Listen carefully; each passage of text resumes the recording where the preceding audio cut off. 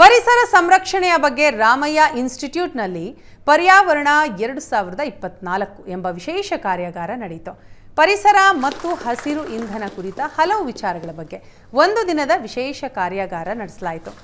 Gokul education society ಹಾಗೂ ಐಎನ್ಎಇ Bengaluru chapter ಸಹಯೋಗದಲ್ಲಿ ಕಾರ್ಯಾಗಾರ ನಡೆಯಿತು ಈ ಕಾರ್ಯಾಗಾರದಲ್ಲಿ ಹದಿನಾಲ್ಕು ವಿವಿಧ ಕಾಲೇಜಿನ ವಿದ್ಯಾರ್ಥಿಗಳ ತಂಡ ಭಾಗಿಯಾಗಿದ್ದು ವಿಶೇಷವಾಗಿತ್ತು.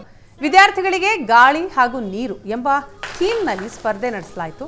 ಕಾರ್ಯಾಗಾರದಲ್ಲಿ ರಾಮಯ್ಯ ಕಾಲೇಜಿನ vice chairman doctor Sitaram Padma Vibhushan ಪುರಸ್ಕೃತ doctor V K Atri, professor Nataraj ಕರಬ ವಿದ್ಯಾರ್ಥಿಗಳಿಗೆ ಮಾರ್ಗದರ್ಶನ ಮಾಡಿದರು.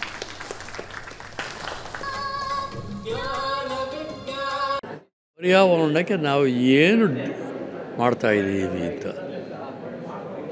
ಬರೀ ಎನರ್ಜಿ ಒಂದೇ ಅಲ್ಲ, all kinds of pollution plastic ನೀರು ಹವಾಪರಿಚಯ ನಾಯ್ಸು ಟ್ರಾಫಿಕ್ ನೋಡಿ.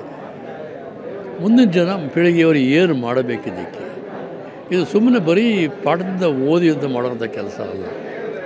ಅದಕ್ಕೋಸ್ಕರ ನಾವು I N A M S Ramayana ಸೇರಿಕೊಂಡು ಹುಡುಗರಿಗೆ mainly it's student centric come up with ideas ಏನು ಮಾಡಬೇಕು? For example last year plastic hack remove ಮಾಡೋದು ಅಂತ.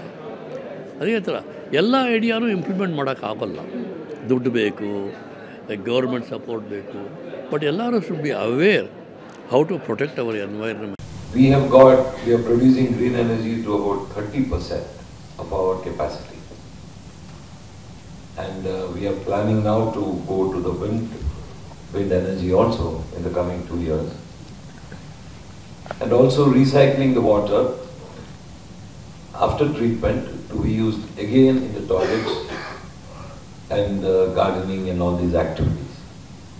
So I think we have put a foot ahead already and we have started this.